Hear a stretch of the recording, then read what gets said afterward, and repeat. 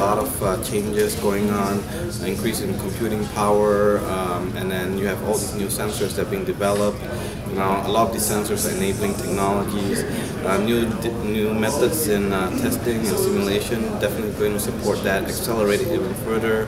So I'm having a lot of good things. Uh, I'm seeing a lot of good things down the road, 2016 onwards.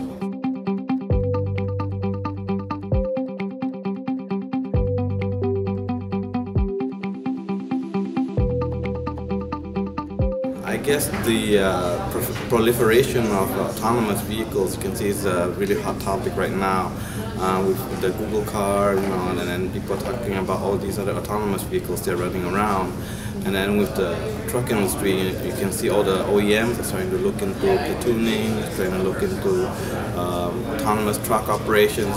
So definitely there's going to be uh, a lot of good things to come from there.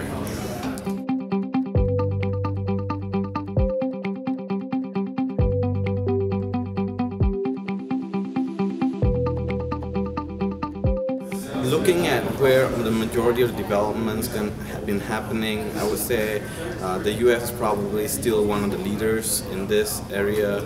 Um, the reality is that you know it has uh, a lot of uh, money invested in it, and a lot of the automotive companies are invested in, in and around the Silicon Valley, and they've been uh, putting in a lot of efforts into this new technology. So it's a very exciting year indeed.